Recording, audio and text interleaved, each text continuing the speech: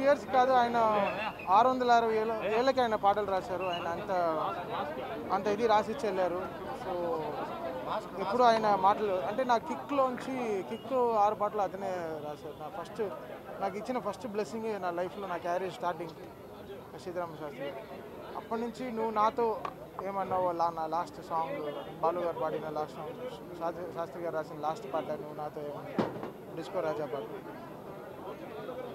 ఎప్పుడు అంటే మాకు అంటే నేను ఆయన పేరు పెట్టి పిలవడం కాదు ఎప్పుడు నాకు ఆయన ఇచ్చిన నాకు ఇచ్చిన ఒక ఆయన హార్ట్లో ఇచ్చిన ప్లేస్ నువ్వు నన్ను పెద్దనాన్నని పిలవాలని. సో సామజవరగమన అటు అటు ఇటు అసలు ఈ ఏజ్లో కూడా ఆయన దాదాపు ఎన్నోసార్లు మాతో కష్టపడి అంటే ఆ బ్లెస్సింగ్స్ ఎవ్రీ ఆయన రా- ఆయన ఇచ్చిన మాకు ఇచ్చిన రాసిన మా పాటలకి రాసిన లిరిక్స్ అంతా అంతా ఆయన బ్లెస్సింగ్స్ ఇదేంటని మాకు తెలుసు. అంటే రామజోష్ శాస్త్రి గారు మాకు అంటే తెలుసు ఆయన అసలు ఎలా ఆయన ఇన్వాల్వ్మెంట్ ఎలా ఉంటుంది ఆయన ఎలా ఉంటుంది. సో ఈరోజు అంటే వీ ఫీల్ అంటే మాకు త్రివిక్రమ్ గారికి కూడా చాలా అసలు మా ఇద్దరిలో ఇద్దరు చాలా ఫేవరెట్ అయిన ఒక పర్సన్ చాలా కొన్ని విషయాలు మాకు కదలిపోతే ఆయన దగ్గరికి వెళ్ళిపోతాం. ఏంటి ఎలా కదలట్లేదు అంటే ఆయన చాలా ఈ సులువుగా ఆ విషయాలు ఆయన జరిపేస్తారు. సో అప్పుడు మొత్తం పాట అయిపోతున్నారు అన్నమాట ఆ సామర్థ్య వరగమన అని ఆ పేరు ఆయన ఇచ్చింది శాస్త్రి గారు.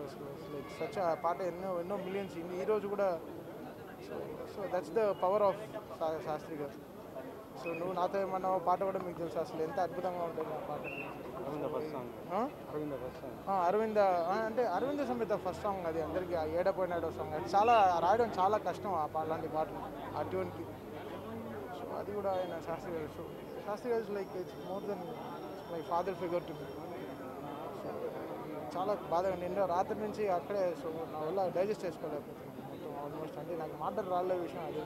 Not able to free flow free flow of words so long live is writing Shastri garu Shastri garu lives on so so let's pray pray God all the great things